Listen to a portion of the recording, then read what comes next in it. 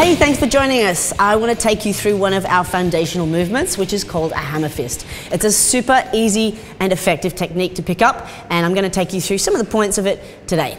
Grab the air, and you've pretty much got a fist, okay? We want to make sure that the thumb is curled on the underside of the fist and it's out of the way. The area of weapon that we're going to use here is this fleshy part on the side of the fist. We want to make sure we squeeze that fist as tight as we can on that point of impact. And apart from that, it's as easy as playing drums on their face. Okay, that's how I describe it, and pretty much people pick it up straight away, so you can give that a go. We're going to look at a side horizontal application of it. I've got Rose and Frankie here who's going to help me with this uh, demonstration, and our good old impact head is going to take the brunt of it, I hope, rather than my head. So, so Rose, can you give the impact head a good old horizontal uh, hammer fist to the throat? Fantastic.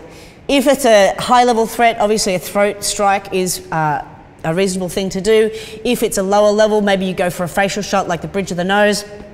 Ultimately, uh, both will do a decent job. If the attacker is on the move, of course, we may end up hitting with a different part of our arm, and that's okay. Um, at the end of the day, if it's in close enough, then a bent elbow is going to hit. If it's further away, then a forearm uh, will hit or a fist, okay? And this room for error is really critical because it's not going to be a polite fight. It's a street application and actual application under duress and everything is on the move. Okay, so give it a good wallop now.